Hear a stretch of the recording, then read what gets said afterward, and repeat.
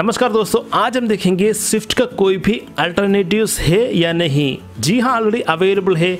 Russia का है China का है इंडिया का जो यूपीए है, इसे हम आसान अल्टरनेटिव फॉर स्विफ्ट डेवलप कर सकते हैं। बस यूपी का जो टेक्नोलॉजी है रियल टाइम पेमेंट सिस्टम ये जो टेक्नोलॉजी कंट्रीज़ को अडोप्ट करना होगा। ऑलरेडी सिंगापुर के साथ यूपी बेस्ड ट्रांजेक्शन हो चुका है। सिंगापुर और थाईलैंड के बीच पर रियल टाइम पेमेंट कम्युनिकेशन हो चुका है। तो ये जो टेक्नोलॉजी टाइम पेमेंट सिस्टम कोई भी अडोप्ट करता है तो डेफिनेटली यूपीए को हमें स्विफ्ट का अल्टरनेटिव वर्ल्ड वाइड एस्टेब्लिश कर सकते हैं। बस ये जो टेक्नोलॉजी को दूसरे कंट्रीज़ को अडोप्ट करना होगा। अब देखते हैं चाइना और रशिया का अल्टरनेटिव क्या है।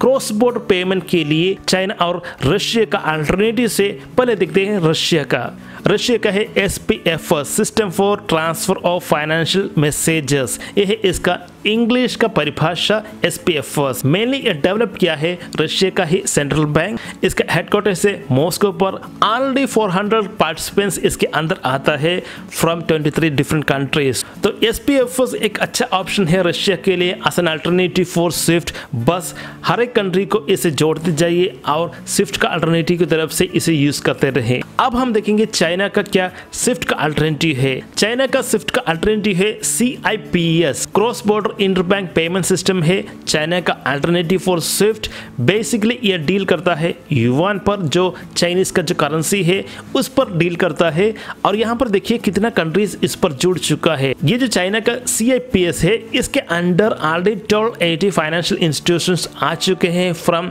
one nought three countries twenty का रेफरेंस है, उसके हिसाब से already one nought three countries इसके अंदर आता है। ये जो सी के अंडर पर, अब देखिए ट्वेंटी पर eighty trillion transaction financial transactions process कर चुके हैं।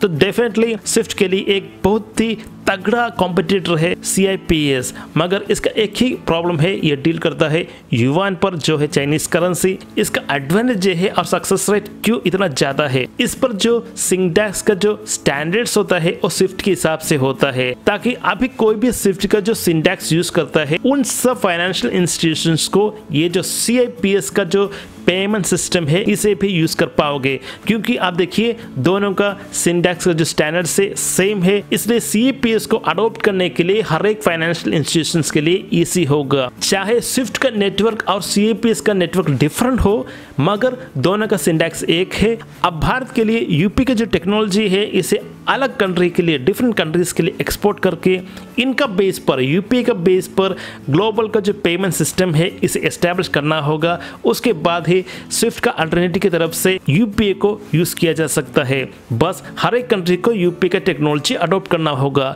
यहाँ पर देखिए स्विफ्ट का पहले क्या था? दोस्तों स्विफ्ट का पहले एक ऐसा ही एक नेटवर्क था सिक्योर नेटवर्क नहीं था वो। उसका नाम था टेलेक्स टेलेक्स पर एरर प्रूफिंग इतना बेहतर नहीं था एफिशिएंसी इतना बेहतर नहीं था। इसके कारण इसे ड्रॉप किया गया टेलेक्स को ड्रॉप किया गया और उसके बदले इंट्रोड्यूस किया गया 1973 पर स्विफ्ट इसका हेडक्वार्टर्स था बेल्जियम पर। बेल्जियम एसोसिएट एक कॉर्पोरेट सोसाइटी है स्विफ्ट ये बेसिकली फाइनेंशियल कम्युनिकेशन और मैसेजेस अक्रॉस द बॉर्डर हर एक कंट्री पर अवेलेबल किया जा सकता है यूजिंग स्विफ्ट और इस पर ऑलरेडी एसोसिएट है 11,000 फाइनेंशियल इंस्टीट्यूशंस अक्रॉस 200 कंट्रीज़ इस पर एसोसिएट है स्विफ्ट पर एसोसिएटेड है। स्विफ्ट पर per day 40 million financial messages transact होता है। इसका मेन हेडक्वार्टर से बेल्जियम पर और एक मेन डाटा सेंटर है वर्जीनिया यूएस पर। तो दोस्तों इसमें देखा स्विफ्ट का अल्टरनेटिव रशिया का, चाइना का और इंडिया का क्या क्या हो सकता है? अगर यूपी बेस्ड एक क्रॉस पोर्ट पेमेंट सिस्टम चाहते हैं तो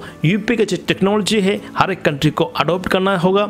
जो कंट्रीज़ चाहते हैं कि यूपी पर ट्रांसलेट करे, उसे अडोप्ट करना होगा और इसका बेस पर एक ग्लोबल पेमेंट सिस्टम क्रिएट करे। उसके बाद ही हम ट्रांसलेट कर सकते हैं कम्युनिकेट कर सकते हैं फाइनेंशियली अक्रॉस द बॉर्डर तो दोस्तों, इस वीडियो में इतना ही। वीडियो अच्छा लगे तो लाइक करें शेयर करें। अंडूस चैनल थैंक जय हिंद వందే మాత్రం